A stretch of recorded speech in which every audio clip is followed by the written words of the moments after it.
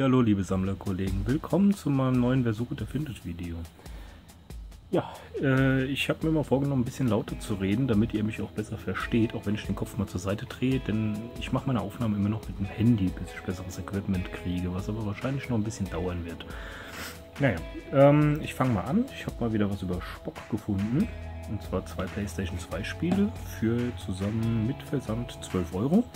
Und zwar war dabei Project Zero 1 und 2. Da dachte ich eigentlich, ich hätte sie beide noch nicht, äh, habe dann aber irgendwie zu spät in mein Regal geguckt und den hier habe ich tatsächlich doch schon. Naja, schade drum. Der hier fehlt mir halt noch, sind komplett, da ist auch noch so ein schöner Zettel von irgendeiner Videothek drin, wo das gekauft wurde. In höchster, glaube ich. Hm, ja, H-Ö-X-T-E-R. Wem das ein Begriff ist, äh, der darf sich angesprochen fühlen.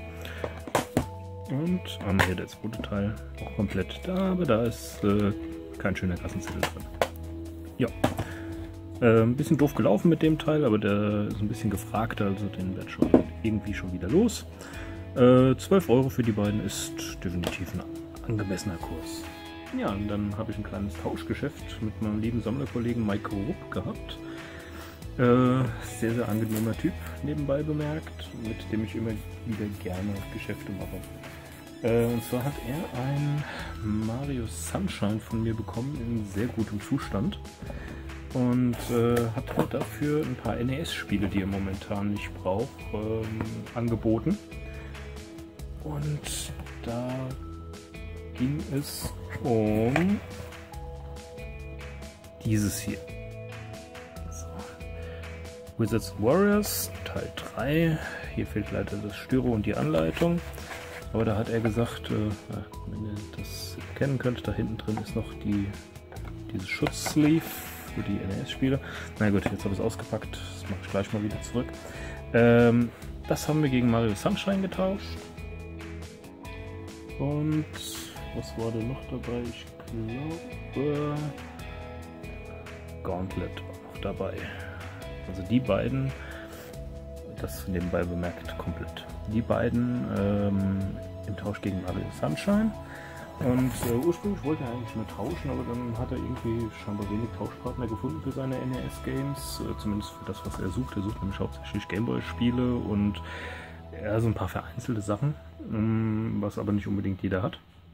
Und äh, da habe ich ihn gefragt, hier willst du mich doch verkaufen? Und äh, da hat er mir dann noch Shadowgate und Star Tropics jeweils einen sehr guten Kurs. Also ich habe insgesamt für dieses Paket gezahlt das äh, Mario Sunshine und habe noch 30 Euro draufgelegt und dann haben die vier Titel mir gehört.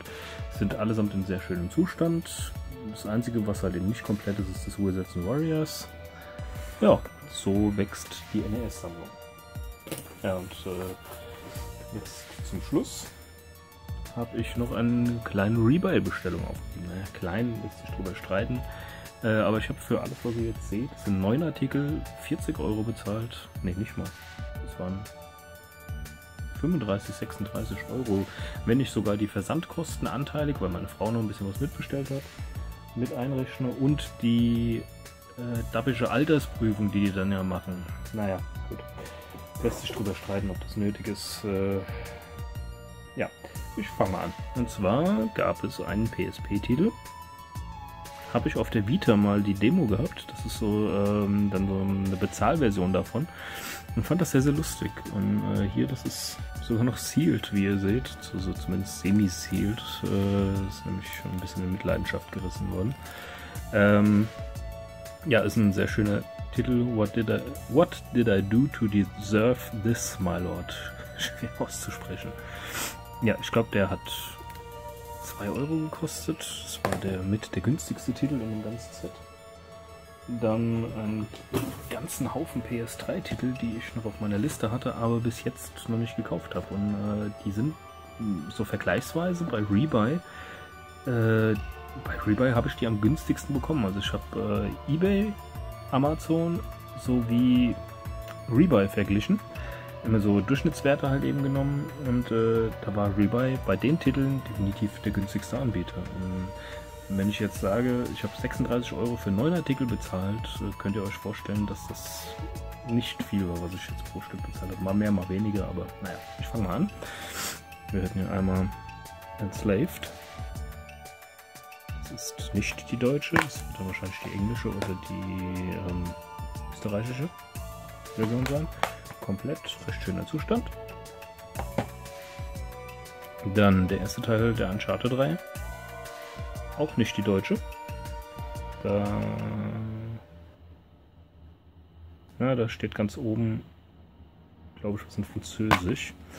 Äh, ist die Vermutung naheliegend, dass das die französische Version ist. Auch komplett. Ist bei Rebuy ja nicht immer gegeben. Dann Batman Arkham Asylum. Die Ursprungsversion, die kommt, soweit ich weiß, aus England. Ich habe viele internationale Versionen bestellt und wer sich mit internationalen Versionen bei Rebuy auskennt, weiß, dass die tendenziell immer ein bisschen günstiger sind, man dann aber diese auf jeden Fall den 18er Zuschlag und diese Identitätsprüfung mitmachen muss. Aber gut, wenn man dann einen Artikel hat, dann kann man auch so weitermachen. So, Heavenly Sword. Auch komplett. Das tatsächlich eine USK-Version, also eine deutsche. Dann die Game of the Year Edition von Borderlands. Darauf habe ich mich sehr gefreut. Äh, die wird auch definitiv heute Abend noch angezockt. Da ist die Karte sogar noch drin. Ähm, ja, äh, ich habe bisher nur Gutes von dem Spiel gehört. Ich habe es noch nie gezockt. Noch nie, nie, nie. Und ähm, ja, deshalb musste das mit. Und ich glaube, es hat für einen klasse Titel, also soweit ich gehört habe, 3 Euro gekostet. Und dafür, naja, kann man das schon mal mitnehmen. Dann hätten wir hier noch Darksiders. Auch die deutsche Version komplett. USK-Logo. Sowie Infamous, der erste Teil. Ja. Alle Spiele komplett in ziemlich gutem Zustand. Also die Discs von den PS3-Titeln habe ich vorher schon kontrolliert. Äh, die sind super, absolut klasse. Die Anleitungen sehen auch noch gut aus. Also habe ich bei Rebuy schon ganz, ganz anderes erlebt. Jo, und äh, ganz zum Schluss habe ich mir noch einen PS Vita-Titel gegönnt. Ähm, das war eigentlich mehr so ein, so ein Filler, sage ich jetzt mal, weil ich ähm, auf einen gewissen Betrag kommen wollte. Und äh, habe mir dann gedacht, ach komm, dann gönnst du dir noch den einen. Und der hatte auch nur 5 Euro gekostet, war aber der teuerste Titel in dem ganzen Set. Und das wäre Lumines. Und ja, das wäre es dann. Ja, da wurde ich ganz kurz unterbrochen. Wie gesagt, also für das komplette Set 35, 36 Euro inklusive Versand, Altersprüfung und äh, Identitätsprüfung, pipapo und tralala, ist denke ich mal ein guter Kurs. Also wenn ich, da, wenn ich die Versandkosten und alles abziehe, habe ich weniger als 3 Euro pro Titel bezahlt. Ist top. Und ähm, ne, stimmt gar nicht, knapp über 3 Euro. Ja, und äh, jetzt machen wir noch so ein. Schieben wir das alles nochmal beieinander. Mal wieder ein paar schöne Stapelchen für die Sammlung. Perfekt. Ja, ich wünsche euch viel Glück auf der Suche und bis zum nächsten Mal.